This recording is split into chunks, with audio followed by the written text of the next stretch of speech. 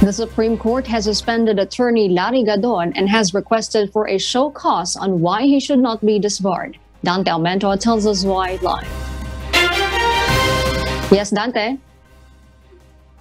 Good evening, Harleen. The High Court has ordered a preventive suspension against attorney Lorenzo Larry Gadon today. This is over Gadon's viral video uttering profanities against journalist Raisa Robles. Last December 15, 2021, a video of Gadon went viral on social media. Gadon's act was after the journalist allegedly accused presidential aspirant Ferdinand Bongbong Marcos Jr. as tax evader. The court also ordered Gadon to explain why he should not be meted or punished with the ultimate penalty of disbarment. He is given 10 days to file his comment. The SC added the preventive suspension on Gadon is effective immediately and to last until lifted by the court.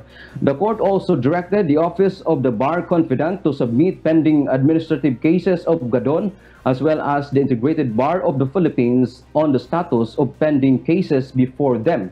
Meanwhile, in a statement, Larry Gadon or attorney Larry Gadon has questioned the order of the court stating lack of due process and his suspension was announced in the media without furnishing him first the copy of the complaint.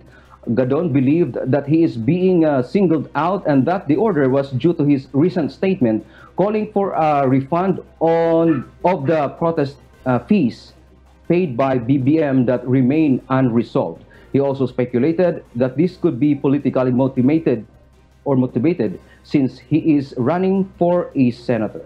And that's our latest live from Quezon City. Back to you, Harley. Thank you, Dante Almento, reporting live from Quezon City.